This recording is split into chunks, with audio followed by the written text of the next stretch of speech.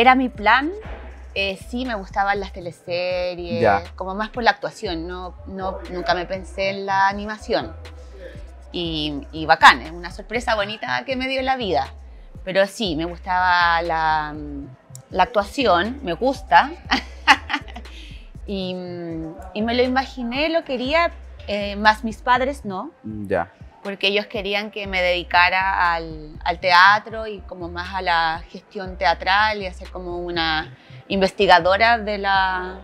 ok, ok. Como lo típico De la de, actuación. de los actores, actuación en teatro. Claro, un poco más serio. Claro. pero se desvirtuó su deseo. Pero, ¿qué, ¿cómo se tomaron ellos eso, tu decisión?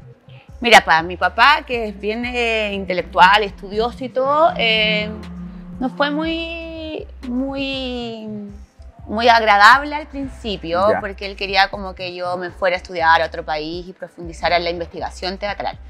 Y para mi mamá fue bacán. Ah, Ah, ella quería puro verme en la Bueno. tele y todo, así que no, y después con el tiempo ya se han ido acostumbrando y está todo bien, porque gracias a Dios igual ha sido una carrera dentro de, de todo muy buena, la que me ha regalado la vida, así que no, están contentos y, Y- agradecidos. Y no te equivocaste, Parece que no, no, ¿no? no, porque, o sea, imagínate, eh, me ha ido bien, gracias a Dios, he tenido pocos baches, Ujú.